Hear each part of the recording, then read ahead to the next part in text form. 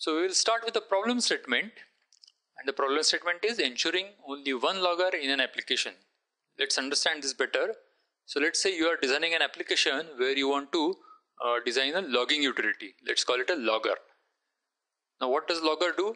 Uh, logger logs various events, uh, whether uh, it's a debugging related information or whether it's a generic information or whether it's a error specific information. But here we need to ensure that all our programs, let's say if we are using Java or .NET, then all our classes in Java or .NET should use the same logger. That means only one instance of the object of logger type should ever be created. What will happen if you create two logger instances? It might not work properly. It might create a couple of logging files and that's not what you want. Now, how do we solve this problem traditionally?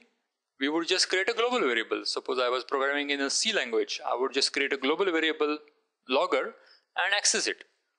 But there is a problem. And the problem is that it's accessible, but it's it's it's not a read-only variable. So you know somebody can go and create another global variable, or somebody can just go and change that instance variable to point to something else. Things can go wrong.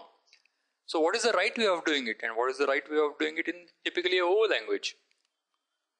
Now logger is an example here. It's really the problem context we are working on.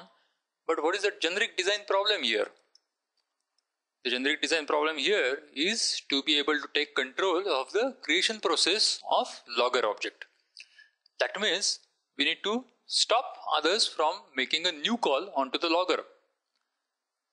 Now how do you do that? You can do that by making the constructor private or protected.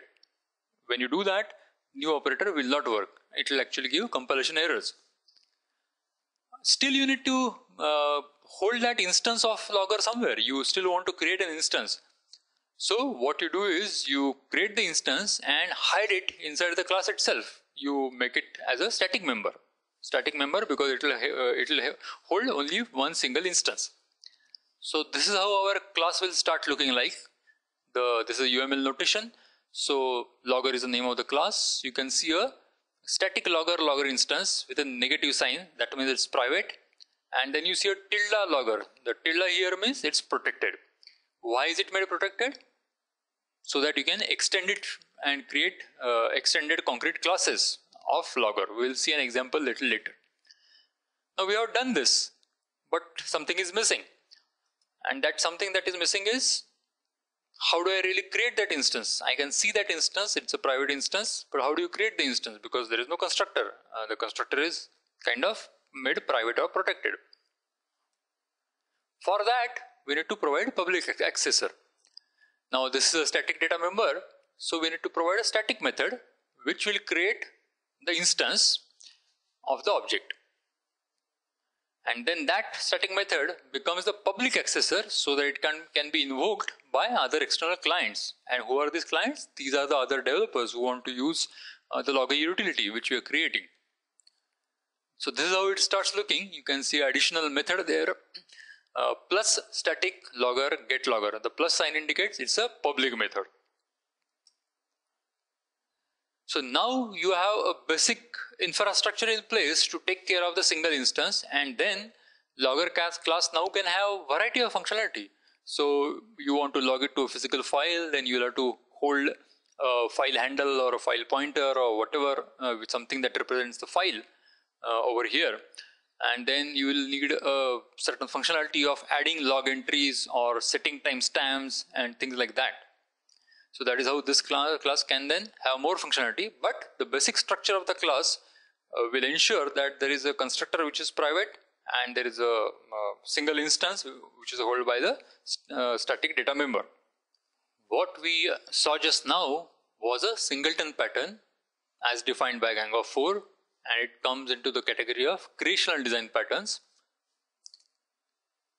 The intent behind singleton design pattern is to ensure a class only ever has one instance and provide a global point of access to it. And that's what we exactly did that we ensured that logger ever has only one instance and then there is a public global point of access to it that is logger.getLogger which is the static method on the logger class. When do you use this class? What is the applicability of uh, singleton pattern? When there must be exactly one instance of a class and it must be accessible from a well-known access point then you should consider using singleton design pattern. Also when the sole instance should be extensible by subclassing.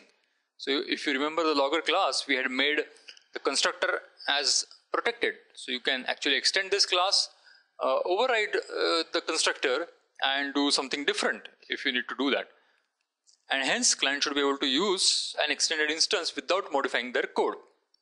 Because the basic uh, interface the global point of access is defined by the parent class. So in such cases you should use singleton design pattern